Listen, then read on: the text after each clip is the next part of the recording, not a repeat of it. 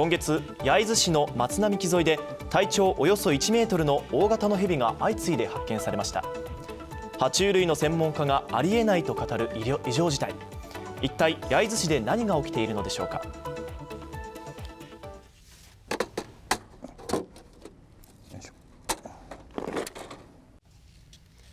ケースの中にいたのはニシキヘビの一種ボールパイソン。ここに並んだ3匹のヘビは焼津市の同じ場所で相次いで発見されました。えーと、1匹目がここにロープが置いてあるかのように見えてて。3匹のヘビを相次いで発見した男性です。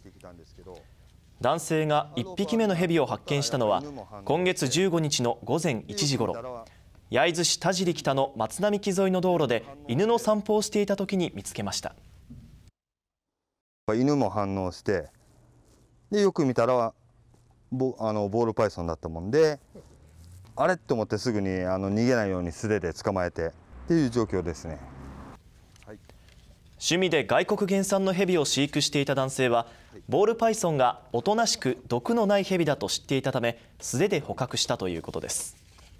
現場は子供が行き交う場所で住民は動揺を隠せません。大きいの大きい。大きい。怖いねなんか。ねえ。うち中入ってこられたりしたらもう本当にギャーですよね。男性は最初のヘビを捕獲した1週間後ほぼ同じ場所で今度は2匹のボールパイソンに遭遇したのです。止まった瞬間に。普通じゃないですね、まあ、3匹同時なんです。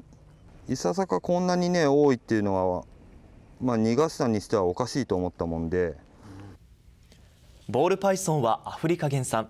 日本に住み着いているわけではありません。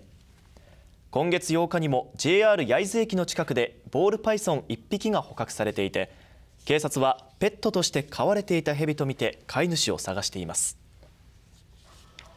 爬虫類の専門家は今回の出来事について偶然に起きた逃走劇ではないと推測します。基本的にボールニシキヘビっていう生き物は1匹ずつ飼うんですね。容器に入れて。だから同時に3匹が逃げるってことはまずありえないんですよね。そうなるとその場所には人為的にもうもう誰かが運んできたと。人間の介在があったということしか考えにくいですね。多くの謎が残るヘビの発見。野生ということは考えにくいため逃げたにしろ捨てたにしろ飼い主のモラルが問われます。